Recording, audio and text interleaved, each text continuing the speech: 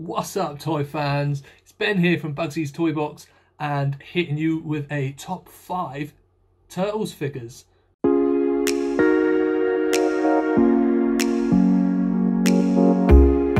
So guys, welcome back. Another week, another video. Making sure we're consistent, making sure we're bringing you all the best of Bugsy's Toy Box. Uh, you've got a solo one from me this week as we are still waiting on a couple of parcels to arrive for our next uh, mystery box video.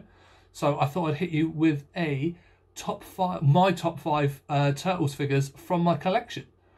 Um, so these are in no particular order. They're just my top five figures for sculpts, colour, um, just all-round awesomeness. So here we go. So guys, number five for me has got to be OG, one of the first 10 figures produced, 1988 Foot Soldier.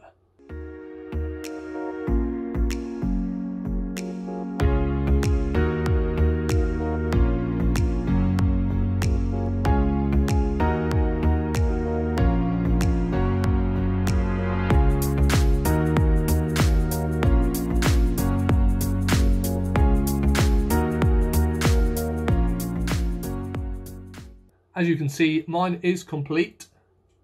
I don't know if you guys will pick that up in the light, but yeah, 1998, 1988, sorry. Uh, Playmates, Mirage. Um, he's got all of his things. His Turtle Blaster. You can see his big one on the back. Um, his mace, his knife. He didn't come with stars, I don't believe, but for the awesomeness of the foot, and you know, you guys know I love a bad guy, he had to feature in the top five. Number four was a bit tricky. It was tricky to pick this whole top five, to be honest. Um, and funnily enough, there's only actually one turtle in it. I wonder if you guys can guess what it is. If you think you know, stick it in the comment below. Don't skip to the end to find out and cheat. Stick us a comment, see if you can work out what it is. My number four is Mutagen Man.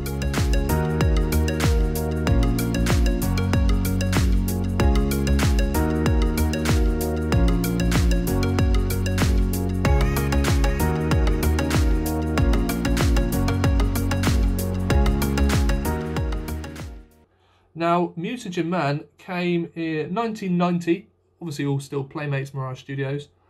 Um, I'm not, mine's not complete by any means, but I've got the sort of the pink cap and the, the purple tube. This sort of mutagen style pistol. I'm just missing all the, the little yellow bits that go inside. Number three for me, there has to be a Raph in there.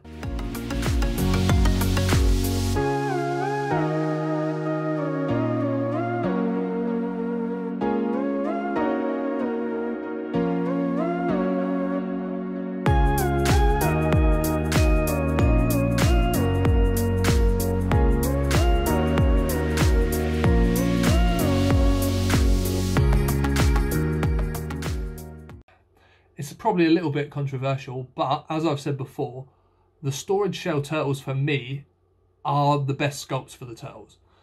As you can see, it's the, sort of the, the cheeky faces that these guys are putting. Let me take his um pufferfish mace out of his hand. You can see it better.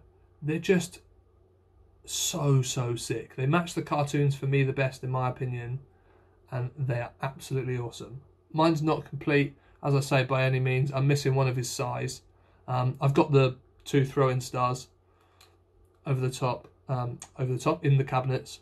Um, obviously, he's got his little axe and stuff on the back. I just love it's su such a small extra bit of articulation, but the fact that you can fit the majority of the weapons in the back, so you can take them, close them up, and take them wherever you want with you. As a kid, that would have been wicked. So you didn't lose anything, popped everything in the shell in the back.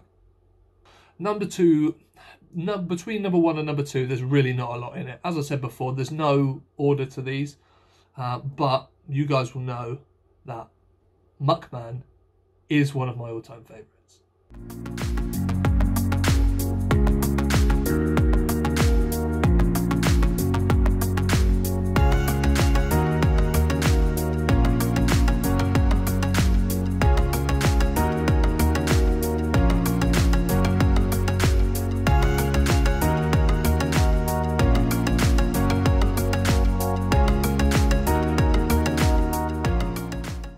As you can see, mine is complete.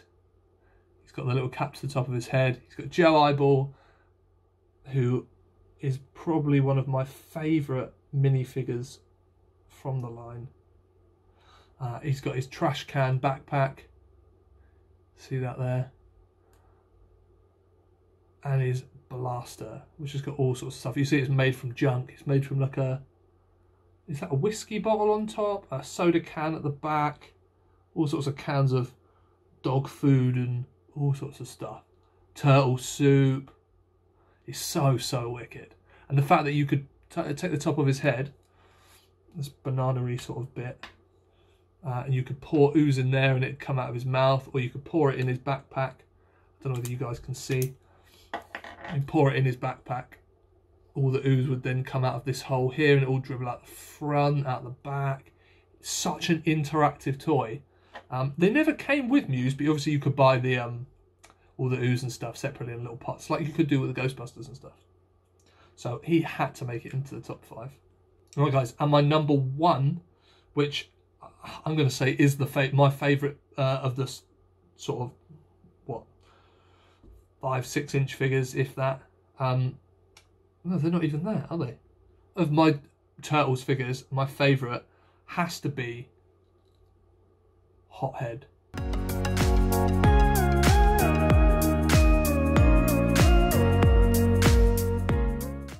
Now, the details on this are absolutely insane.